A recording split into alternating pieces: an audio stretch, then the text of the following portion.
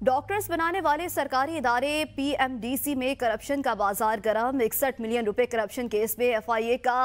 PMDC मुलाजमीन के गिर्द घेरा तंग। एंटी करप्शन सर्कल एफआईए ने पीडीएमसी के इकतीस मुलाजमीन को तलब कर लिया है। इस हवाले से मजीद तफसीला जानेंगे नदीम चौधरी से। जी नदीम बताइएगा एफआईए एक, एक और बार दोबारा से सरगर्म है। जी, बिल्कुल anti corruption circle F I A Islamabad ने पीएमडीसी के इकतीस मुलाजमीन को नोटिस जारी किया है, जिनको आज तलब किया गया है।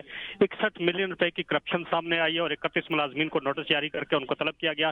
पीएमडीसी में गुजशत गुजशत दौर के दौरान पच्चीस फ़ीसद कमीशन लेने की इतलात सामने आई थी, जिसमें पाँच करोड़ रुपए से पाँच अरब रुपए से जायद की करप्शन हुई थी और इकसठ मिलियन रुपए की जो करप्शन सामने साबित हो चुकी थी, उस पर इकतीस मुलाजमीन को तलब कर लिया है। जी।